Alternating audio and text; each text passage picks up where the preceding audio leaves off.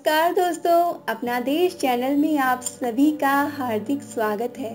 दोस्तों धनतेरस के दिन न केवल अपार धन संपदा पाई जा सकती है, बल्कि आप सेहत और सौभाग्य का वरदान भी पा सकते हैं।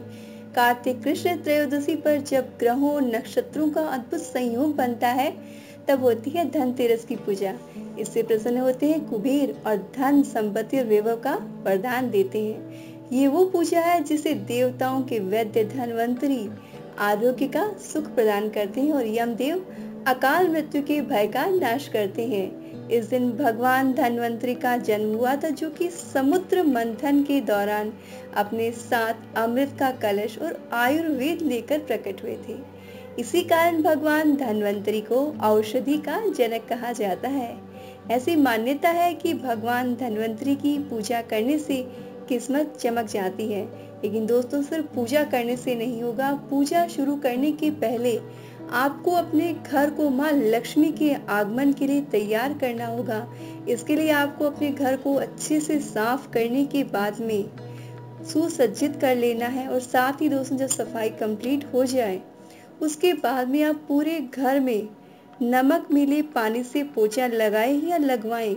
ताकि घर की नेगेटिव एनर्जी दूर हो जाए। क्योंकि जब दिवाली की सफ़ाई होती है तो घर में जो नेगेटिव एनर्जी होती है, वो पूरे एनवायरनमेंट में फैल जाती है। तो उसके इफ़ेक्ट को दूर करने के लिए आप नमक का पोछा लगाएँ और साथ ही थोड़ा कपूर जो है, वो भी जला लें।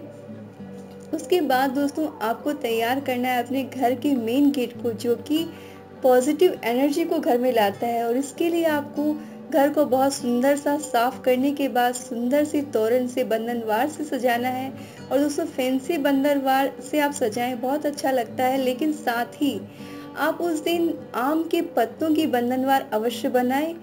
आम की बंधनवार लगाने से घर में पॉजिटिव एनर्जी आती है और घर में नेगेटिव एनर्जी प्रवेश नहीं कर पाती है। इसके साथ ही दोस्तों, आपको रंगोली जो है वो अवश्य ही बनानी है। आप घर के बाहर मेन गेट के बाहर जो वो रंगोली बनाए, उसके साथ ही घर के पूजा घर के पास में रंगोली बनाए और घर के नॉर्थ जोन में, उत्तर दिशा में आप रंगोली अवश्य बनाएँ और अवश्य बनाएँ और साथ ही प्लस रंगोली में नीले और हरे रंग का इस्तेमाल करें। जो उत्तर दिशा में आप रंगोली बनाएँ, उसमें आप नीले और हरे रंगों का इस्तेमाल करें। इस तरह से बनाई हुई रंगोली बहुत ही शुभ रहती है। अब हम जानते दोस्तों कि इस पूजा के लिए हमें क्या क्या सामान की आवश्यकता होगी। इस पूजा के लिए हमें चाहेंगे अक्षत, यानी कि बिना टूटे हुए चावल, रोली, अष्टगंध, धूप, अगरबत्ती, घी का दीपक। और दोस्तों, ध्यान रहे, अगर आप गाय के शुद्ध घी का इस्तेमाल करेंगे तो वो और भी अच्छा रहेगा। उसके साथ ही कपूर, जनेऊ, मोली, इत्र पंचामृत पंचामृत आप तैयार कर लीजिएगा, दूध, दही, घी, शहद और चीनी को मिलाकर। पुष्प जो है वो आपको लेने हैं गेंदे की, गुलाब के और कमल के। सिक्के, आप चांदी के सिक्के जो नए परचेस किए हों, उनको पूजा में रख सकते हैं। उसके अलावा जो पुराने सिक्के हों घर में, उनको भी साफ़ करके आप पूजा में अवश्य रखें। मीठा पान है वो आप अवश्य बनवा के रखें और मीठे पान में आप एक चीज़ का ध्यान रखें, उसमें सुपारी या कत्थे का इस्तेमाल बिल्कुल भी नहीं होना चाहिए। उसके साथ ही आपको पूजा में रखने हैं ऋतुफल ऋतुफल में होंगे सेव, केला और अनार। ये विशेष तय होने ही चाहिए। आप पाँच प्रकार के फल भी रख सकते हैं। उसके साथ ही लौंग, इलायची, गूगल धूप देने के लिए शुद्ध जल, उसके लिए आप गंगा जल भी इस्तेमाल कर सकते हैं या घर का, कहीं का भी जो शुद्ध जल हो, उसको भी इस्तेमाल कर सकते हैं।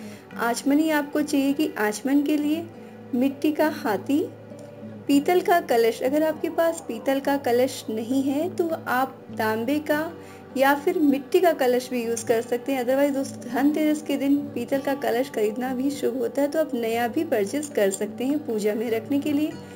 धनवंतरी जी का फ़ोटो हमें लगेगा, लक्ष्मी जी, गणेश जी की फ़ोटो चाहिएगी, कुबेर का फ़ोटो लगेगा, चंदन, गुड़, सफ़ेद बर्फ़ी, तिल की रेवड़ी तिल के मुरमे मुरमे के, मुरमुरे के लड्डू लगेंगे।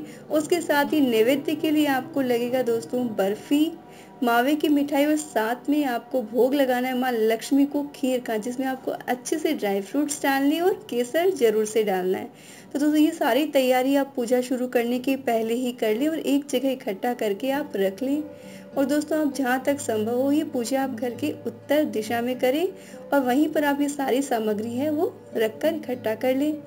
दोस्तों, हम आपके लिए लाएँगे नए नए वीडियो, धनतेरस से रिलेटेड, दिवाली से रिलेटेड, वो कोई भी इंफॉर्मेशन आपकी मिस नहीं हो, इसके लिए आप चैनल को सब्सक्राइब कर लीजिए और साथ ही घंटी के बटन को भी दबा लीजिएगा ताकि चैनल की लेटेस्ट अपडेट आपको तुरंत ही मिल सके और कोई भी इंफॉर्मेशन जो है, वो आपकी मिस नहीं हो। तो अब चलिए शुरू करते हैं पूजन। पूजन के लिए एक चीज़ आप ध्यान रखें कि इस पूजा में आप लाल या गुलाबी कपड़े पहने। इस दिन लाल या गुलाबी कपड़े पहनना बहुत ही अच्छा रहता है। पूजन में सबसे पहले गणेश जी, लक्ष्मी जी और उसके बाद कुबेर की पूजा करेंगे और उसके बाद धनवंतरी की पूजा होगी। गणेश जी सारी बाधाएँ दूर कर देंगे। माँ लक्ष्मी धन लाभ देंगी। कुबेर पैसों की बचत कराएँगे और धनवंतरी जी हमें आरोग्य प्रदान करेंगे। तो इन सभी की हमें पूजा करनी है।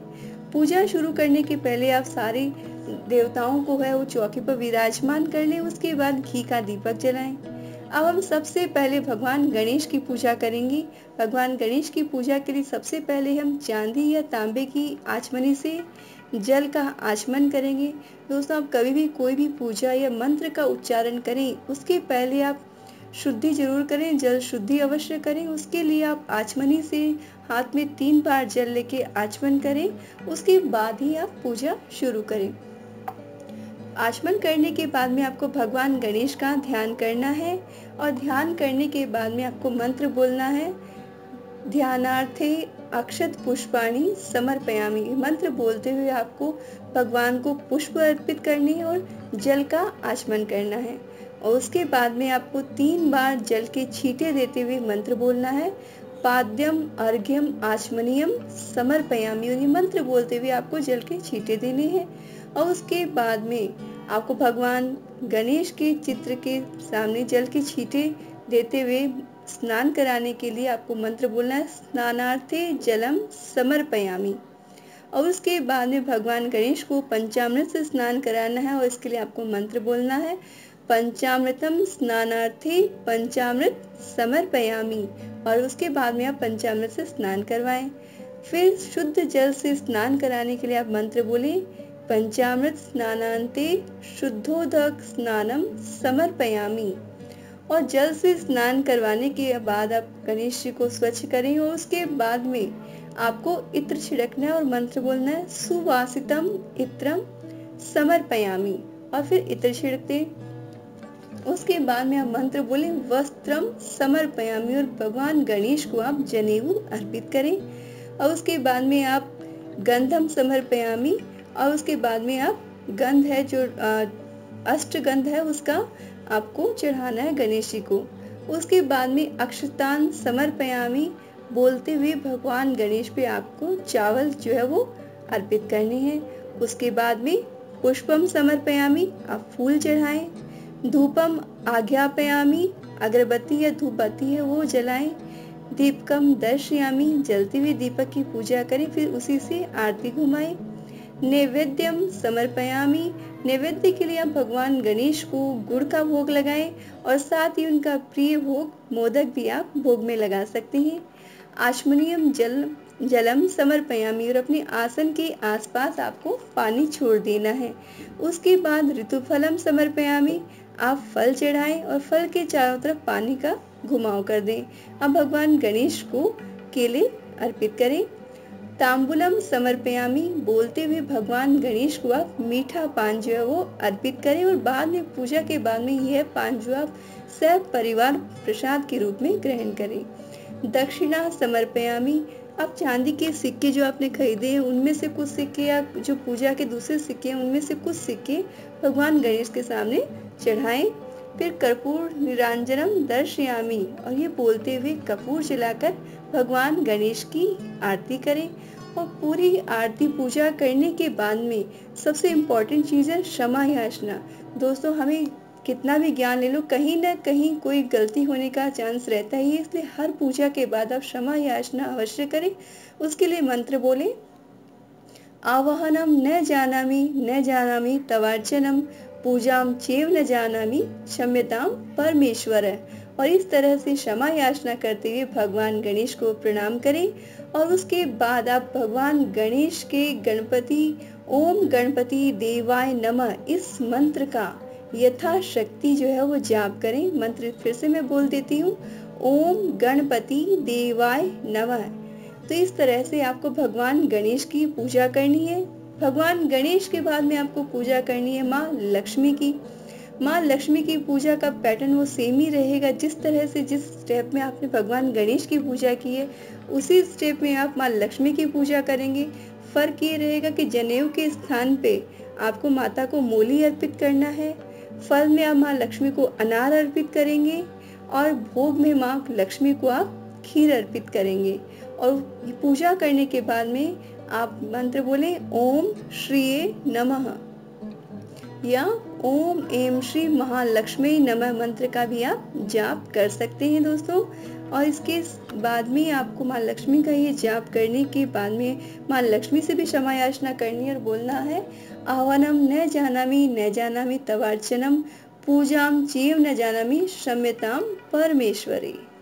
और इस तरह से माँ लक्ष्मी से भी क्षमा याचना करें और अपनी कृपा दृष्टि के लिए प्रार्थना करें। माँ लक्ष्मी की पूजा के बाद में आप भगवान कुबेर की पूजा करेंगे। भगवान कुबेर की पूजा भी आपको उसी तरीके से करनी है, जिस तरह से आपने भगवान गणेश और माँ लक्ष्मी की पूजा की थी। और कुबेर का ध्यान करते हुए आपको मंत्र बोलना है। ओम यक्षाय कुबेराय वैश्रवणाय धन धान्याधिपतये धन धान्य समृद्धि में देही, दापय दापय स्वाहा। इस मंत्र से भगवान कुबेर का ध्यान करते हुए आपको उनकी पूजा अर्चना करनी है और पूजा करने के बाद में कुबेर मंत्र, ओम कुबेराय नमः का आपको यथाशक्ति जाप करना है। कुबेर के बाद में आपको भगवान धनवंतरी की पूजा करनी है। इसके लिए आप हाथ में अक्षत लेकर भगवान धनवंतरी का ध्यान करें और उसके बाद में बोले, देवान कृष्णान सुर संगिनी पीड़ितांगान दृष्टवा दयालुर्मृतं विपृतु काम पायोधि मंथन विधो प्रकटो भवधो। धन्वंतरी स भगवानवता सदा नः। ओम धन्वंतरी देवाय नमः। इस तरह से मंत्र का उच्चारण करके आप भगवान धन्वंतरी की षोडशोपचार पूजा करें और पूजा करने के बाद में आप भगवान धन्वंतरी का मंत्र ओम धन्वंतराय नमः का जाप करें और पूजा पूर्ण होने के बाद आप धनवंतरी जी से प्रार्थना करें, हे आयुर्वेद के जनक, धनवंतरी देव, समस्त जगत को निरोग कर मानव समाज को दीर्घायुष्य प्रदान करें। हमें सह परिवार आरोग्य का वरदान प्रदान करें। और ये सब पूजा होने के बाद में, अंत में माँ लक्ष्मी, कुबेर, भगवान गणेश, मिट्टी के हाथी, धनवंतरी जी का सबका पूजन एक साथ करें, आरती करें और उसके बाद में गूगल की आप धूप जलाएँ। इस तरह से आपको धनतेरस की पूजा करनी है। आप ये पूजा शुभ मुहूर्त में करें, जिससे आपको इस पूजा का अधिक से अधिक लाभ मिल सके। दोस्तों, क्षमा याचना करना बिल्कुल ना भूलें, ताकि किसी भी मंत्र के उच्चारण में या किसी स्टेप के करने में अगर कोई गलती हो जाए तो भगवान हमें क्षमा करें। उसके साथ ही दोस्तों, धनतेरस को दीप दान करने का भी विधान है, और इसके लिए धनतेरस की शाम को प्रदोष काल में अपने घर के मुख्य दरवाजे पर। अन्न की ढेरी पर दोनों तरफ़ आपको दीप जलाना है और उस यमराज का ध्यान करना है। और इसके लिए दोस्तों आपको तैयारी जो किस तरह से करनी है, आपको एक प्लेट लेनी है, उसमें आप एक स्वास्तिक बना लें।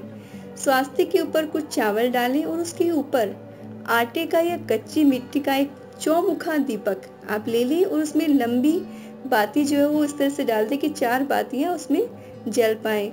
और उस तरह से दीपक को तैयार करने के बाद में आपको दीपक की पूजा करनी है। और दीपक को पूजा करने के साथ में आपको साउथ फेसिंग बैठना है। दक्षिण की तरफ़ मुख करके बैठना और बोलना है, मृत्युना पास दंडाभ्याम कालीन च मया सह त्रयोदश्याम दीपदाना सूर्यज प्रियतामिति। ये मंत्र बोल के आपको दीपक की पूजा करनी है। और इस दीपक में आपको एक कौड़ी डालनी है, साथ ही यमराज को प्रसन्न करने के लिए उसमें आपको सफ़ेद बर्फ़ी, तिल की रेवड़ी या तिल के मुरमुरे के लड्डू, केला और एक ग्लास में पानी जो है वो आप दीपक के पास में रखें और इस तरह से सभी चीज़ों को अर्पित करके उसमें एक कौड़ी डाल दें और पूजा करके आप प्रार्थना करें कि हे यमराज, हमारे घर को असमय मृत्यु से बचाएँ और हमारे पूरे परिवार की रक्षा करें। और उसके बाद में आपको मंत्र बोल के उस दीपक को गेट के बाहर, अपने मेन गेट के बाहर, चावल की ढेरी के ऊपर स्थापित कर देना है। और दोस्तों, जब दीपक बड़ा हो जाए या दूसरे दिन सुबह, उसमें जो आपने कोड़ी डाली है, उसको आपने ले लेना है और अपने पर्स में या तिजोरी में रख लेना है। दोस्तों, एक बहुत ही अचूक उपाय है। जिस पर्स में और जिस अलमारी में कौड़ी रहती है वह पर्स या अलमारी कभी भी खाली नहीं रहते हैं इसलिए आप इस कोड़ी को अवश्य रखिए और बाद में पूजा करने के बाद, दीपक बड़ा होने के बाद में ज़रूर उठा के अपने घर में लेकर आए। तो दोस्तों, ये थी धनतेरस की पूजा विधि। दोस्तों, अगर आपको हमारा वीडियो पसंद आया हो तो आप इसे ज़रूर लाइक कीजिए और जितना हो सके उतना शेयर कीजिए ताकि इस जानकारी का फ़ायदा अधिक से अधिक लोगों को मिल सके। आप चैनल को सब्सक्राइब कीजिए और घंटी के बटन को दबाना बिल्कुल न भूलें। आपके पूरे परिवार को धनतेरस की बहुत बहुत शुभकामनाएँ और दीपावली की ढेरों शुभकामनाएँ।